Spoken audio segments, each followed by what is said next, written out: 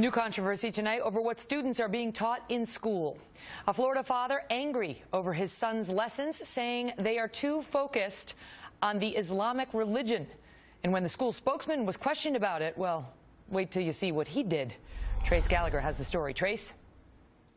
Megyn, Ron Wagner is simply asking that his son's school be fair and balanced. In other words, if you teach Islam, you should give equal time to other religions. The debate is in Seminole County, Florida, just outside Orlando, where Mr. Wagner complained about a world history assignment on Islam. Listen.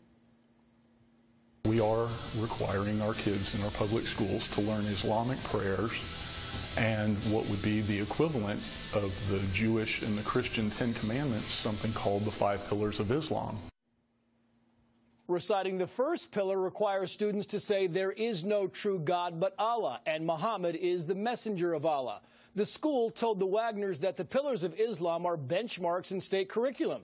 Yet the class had no discussion about Christianity or Judaism because those religions, the school says, are taught in earlier grades. And by the way, the first 100 pages of the textbook dealing with those religions are missing. The district blames a manufacturing defect. When an Orlando TV reporter asked the school about the apparent lack of balance, it didn't go well. Listen. I resent your tone, first of all. Secondly, um, and the way it's being asked in an accusatory way. No, it's actually Yes, it is.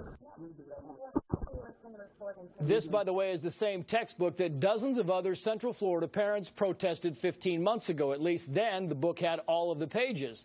But there were still only passing references to Christianity and other religions.